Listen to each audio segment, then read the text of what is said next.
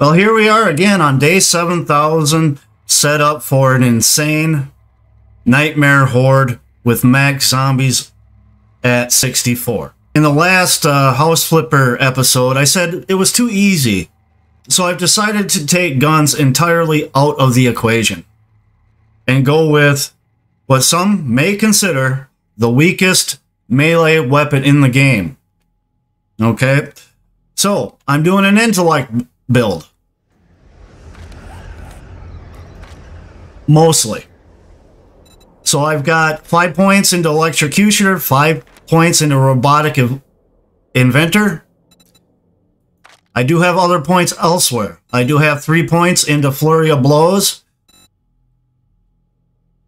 Think that's the only thing I have in Agility? Yep, looks like it.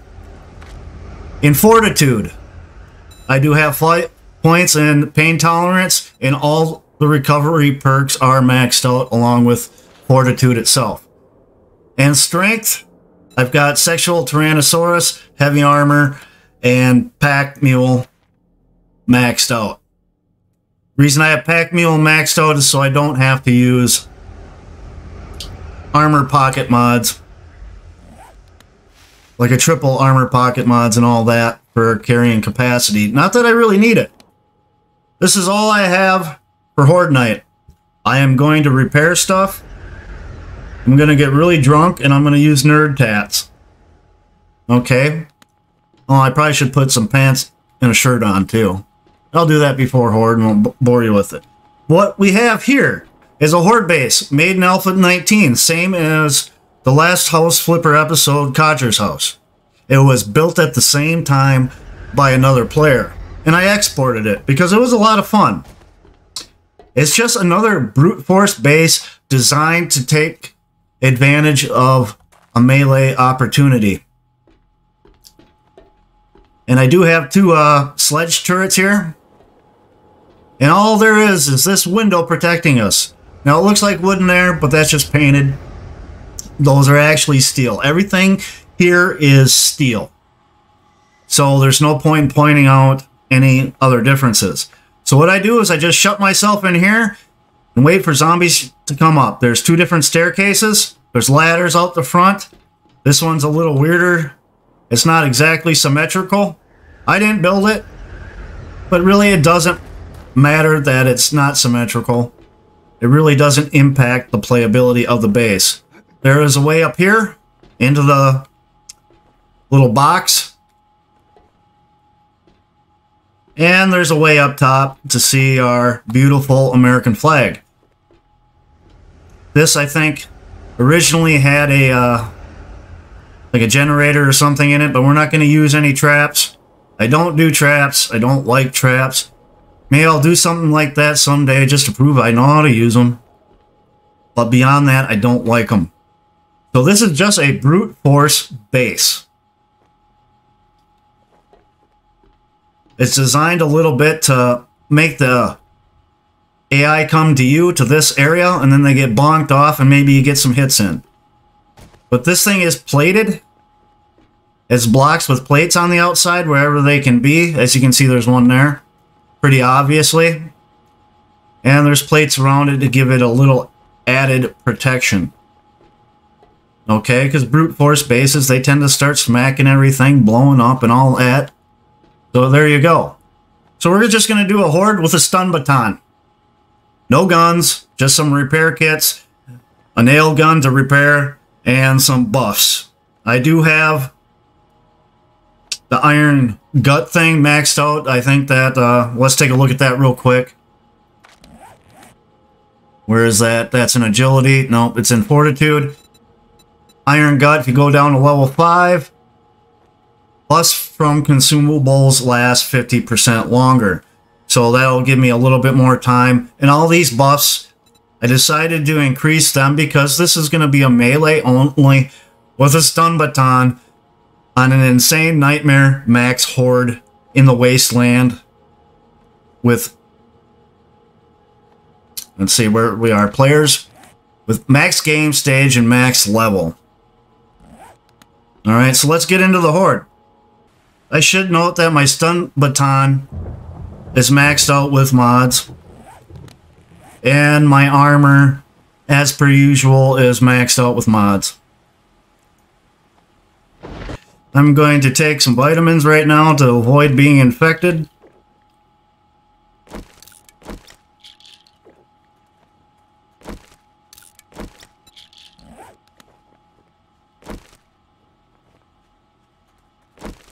And we're going to start taking some nerd tats right away.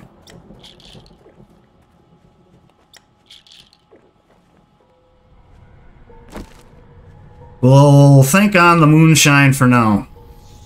Moonshine doesn't last that long, so I don't want to use it before there's zombies here. And we're already getting guys coming through.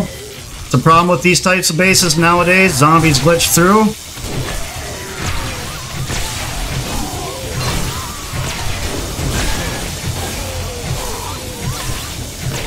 We may end up having to do this one on foot as per usual, but that'll make it exciting. Let's see what we can do right here though. Not working out so well as you can see. So we're to get out of here and see if I can do this on foot. That type of base doesn't work anymore. Okay, let's get out some, uh, this is a good time to get drunk.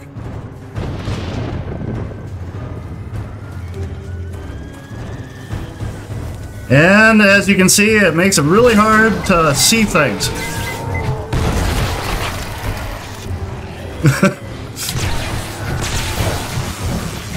but if I hit, actually connect with something, it's going to do a lot of damage.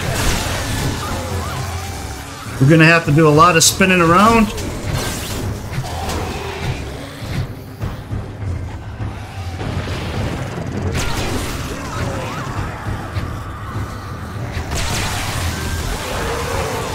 I don't know about you, but I'm aiming for the one in the middle. Nerd tats are great. They do send things flying back. I think the only way we can uh, beat this horde right now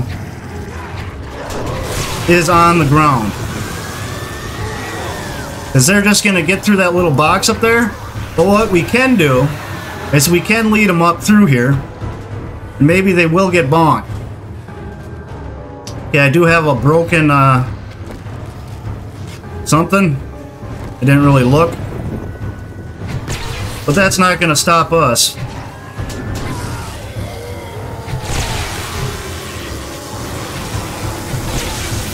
The question ain't how many zombies we can kill, it's how many... The question ain't how many zombies we can kill, it's how long we can actually survive this nonsense.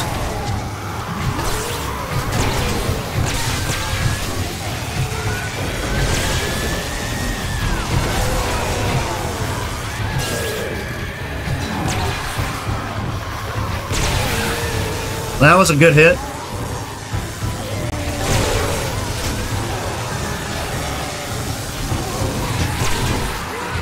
And I'm bleeding again. That's alright though. Okay, we're pretty hurt, as one would expect. Okay, we hit the button. That did help. That's actually a good strategy.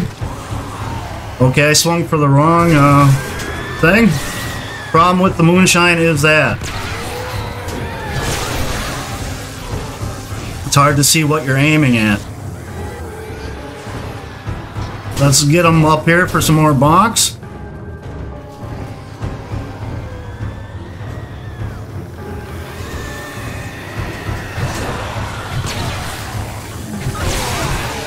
That's a good hit.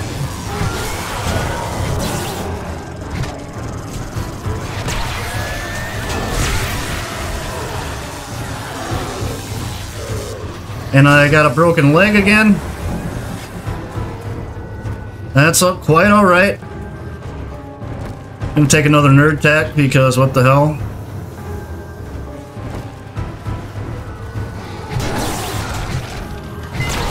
Okay, we got another explosion going on. Which is a good thing. In this case.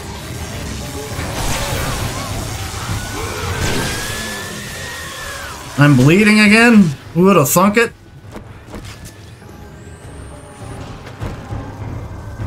I am max out in cardio. So we do regain stamina pretty good, and we do regain health pretty good. Let's get them up here for another bonk or two. See, they've already broken through there. well, come on, you guys. Let's get some bonks in. Okay, we don't have the moonshine running for us anymore, so we can actually see what we're hitting.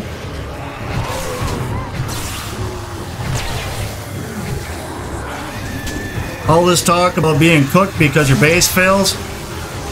Eh. I'm actually surviving pretty well considering. Can I survive the whole night? Ah, uh, maybe. Yeah, we'll try using the demolishers to our advantage because that is an aspect of the game. We got a cop to explode too course, I've suffered an abrasion. If we need to get, well, I was going to say, if we need to get back up there for some protection, we could, but it, they got an opening. A lot of this is just me running.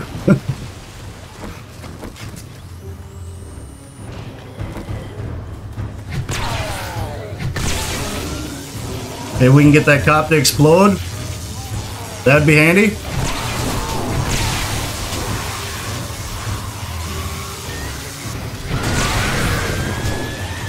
Okay, let's get drunk again. Let's just do one, though. We got some lumberjacks out there, apparently.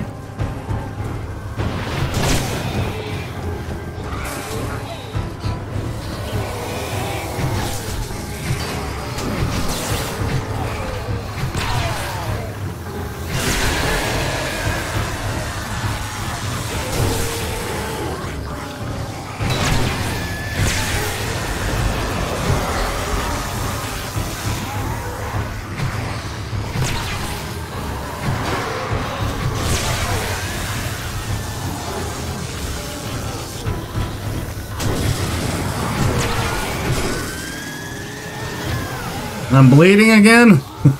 Who would have thunk it? Now I do got more than five health kits, or first aid kits. So let's quickly bring them down. And we got a sign here. I'm trying to stay out of the actual wasteland, part of the wasteland.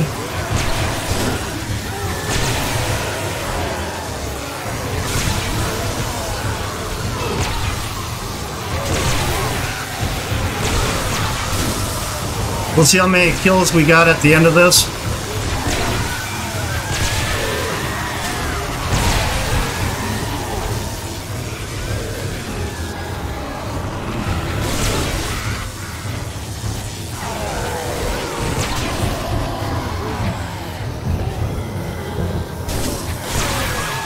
I'm bleeding again. That's going to be a common theme, I think. Okay, little things like that are quite useful. Damn it. Damn it, you rotten no good. Okay, I really need to get that first aid on there right now.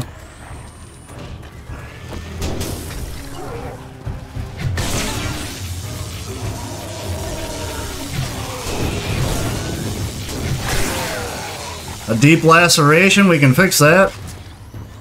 Now we're going through first aid kits like nobody's business. But, you know, when you're maxed out on things, you would have all this crap. So, if you wanted it, let's get back to that. It says I'm drunk as shit. No kidding. I'm not a drinker in real life. Just looking at that stuff would probably make me drunk. Abrasions, I'm not worried about that crap. The bleeding thing, though, yeah, a little bit.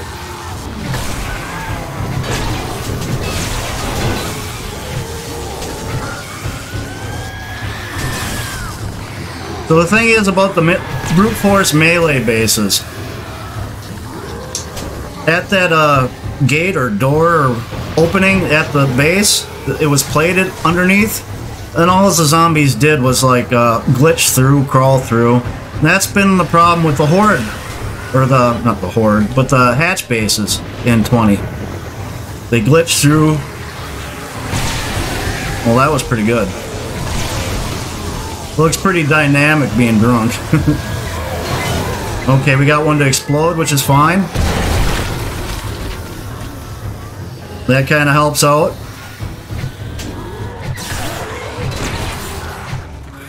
I think I can survive this. As long as I avoid creeps like that. Okay, that does help.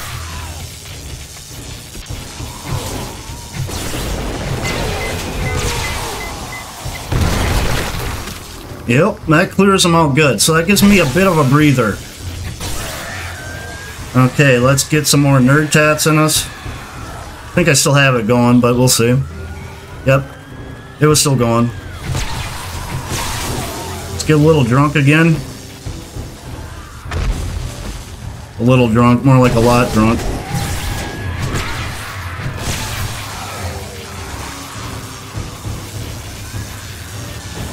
Now, this whole thing is a bad decision, this whole night. so, I'm not going to try to make any extra ones.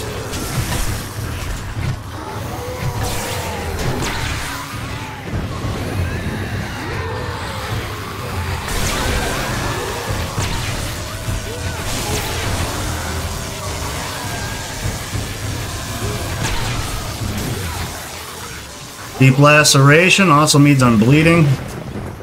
It's alright though. Yeah, the demolishers have done pretty good work over here, which is all right.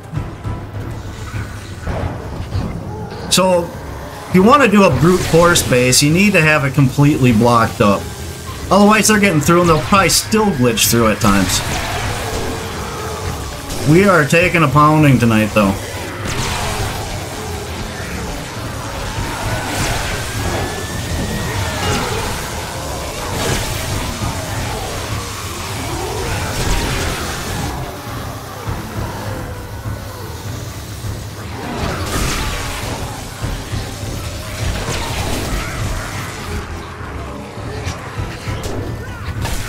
I could have taken a steroid to mitigate the damage I'm taking from just running around, but I didn't think of it. And it, honest to God, what difference does it make? Okay. So we're just back to regular fighting here.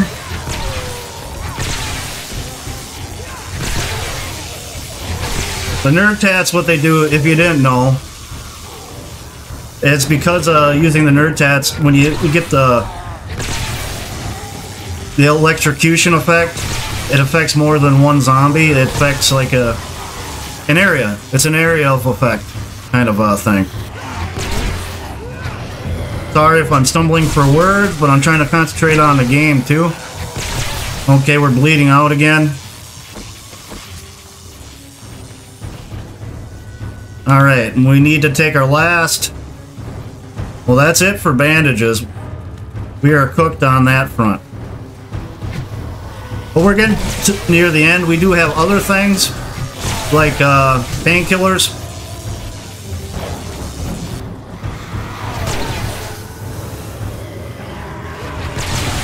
Which gives us instant health, but it doesn't stop a bleed. Yep, and there we go.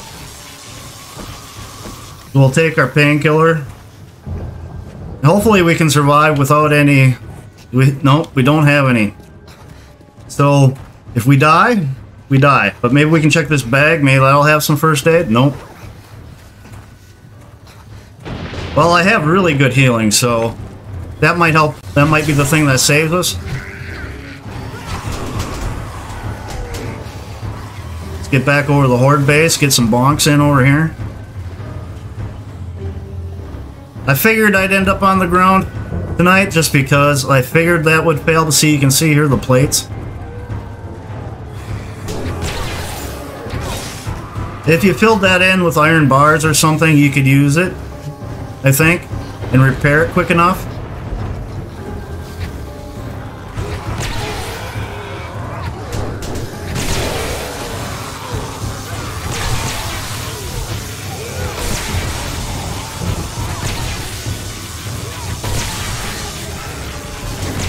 It's actually a little easier without the...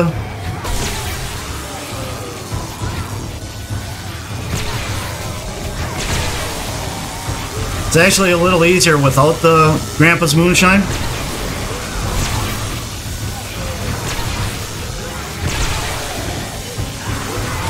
Then want to get back more towards the Horde base. So the Horde base itself was a fail. But the night, I think we might make it. Now look at that. Tell me that ain't effective in some way. I'm out of stamina, which is odd. Let's give ourselves some water. Maybe that'll help the stamina a little bit. Of course, we probably lost a little bit of our uh, skill points because of the deep laceration.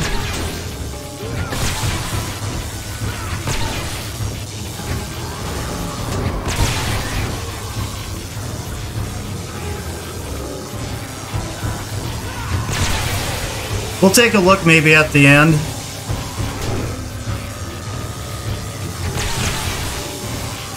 Look at all those zombies. Holy buckets.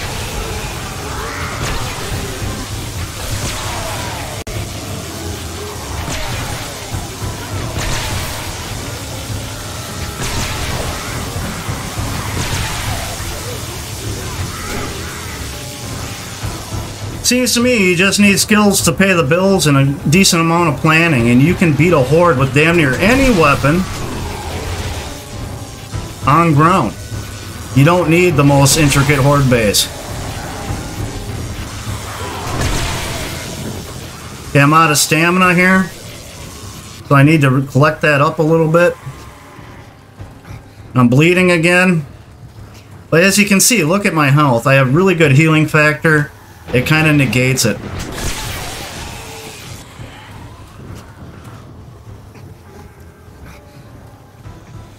There. It's almost over. If I make the four, I'm calling it a win.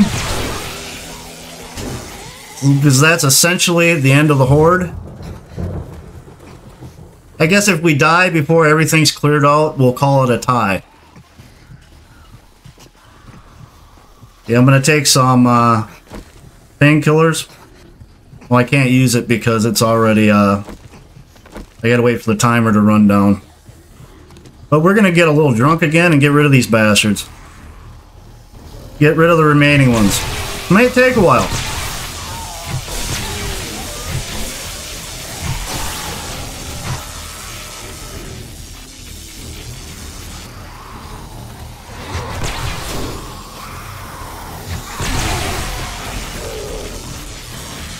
Well, that really kills the frames.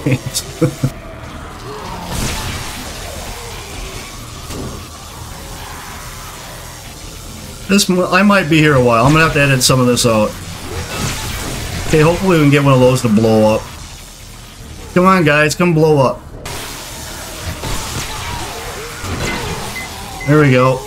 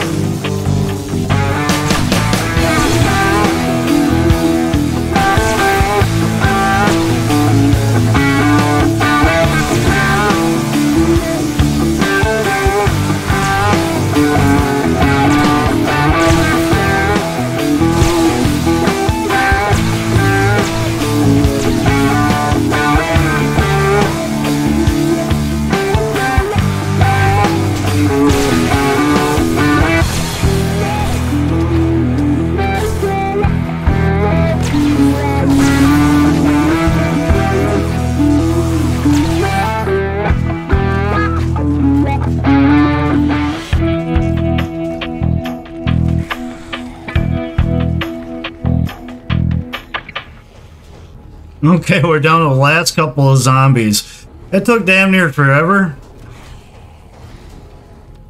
I'll probably edit some of it in, but what I did was I kept running them around here. I actually got them trapped back in the base a little bit between the door and the sledge turrets, and they were taking a beating. But these two damn bears showed up. I think one of them's dead. There's still a couple of zombies there, but we're down to the last bit. I'm up on top of the horde base right now, so I really need to collect my thoughts here. But I ran out of first aid. I checked a lot of bags for like first aid. I think I found one first aid bandage. But I've taken pills, I've taken uh drank some water, I've eaten some gumbo to keep my health up. I was pretty close to dying. So the last two zombies aren't dead. We I think they're the last two. I think they were part of the horde. They could just be rando zombies that showed up.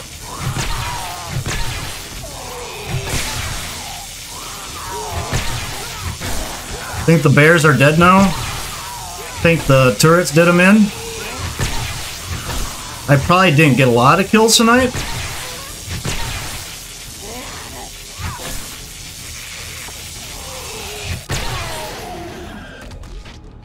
Okay, and that's... I still hear the music. But I don't see any threats.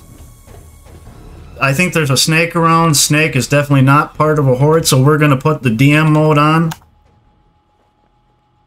Alright. And we're going to pause the AI so we don't have any interruptions here. Let's take a look at my inventory because I did pick up a lot of stuff. I did use a steroid that was in here.